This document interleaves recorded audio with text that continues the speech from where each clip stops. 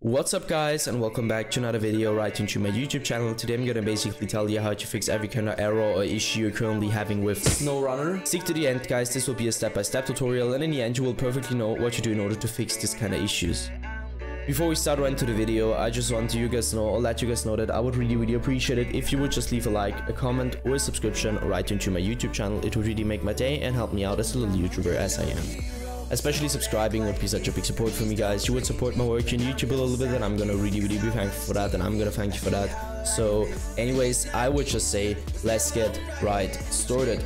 So the first step I would recommend doing for everybody is gonna be to navigate to your taskbar. You're gonna right click your taskbar and open up your task manager navigate to the top left spot top left corner click on the processes and once you click processes i want you to um click one of those random processes, doesn't really matter which one, and once you clicked it, I want you to type in the name of your game, and if nothing pops up, it's good for you. If something pops up, simply right click and end the task.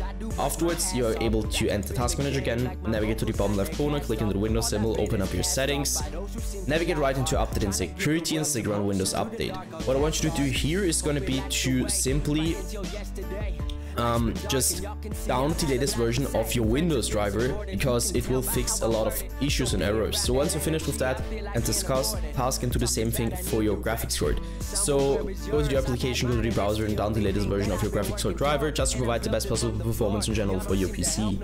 Once you're finished with that, take your in-game shortcut on your desktop or your game shortcut, so your launch shortcut, you're gonna right click it, go to the very bottom where it says properties, you're gonna hit compatibility and simply copy my settings settings, so let's quickly run through it.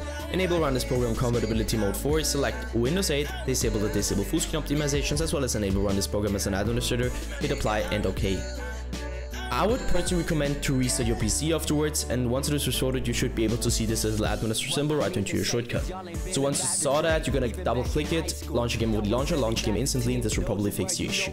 Yeah guys that's it for the video, I hope that I could actually help you out of this one, if it was like that just leave a like, a comment or a subscription right onto my YouTube channel, it would really make my day and help me out. See you the next one and bye.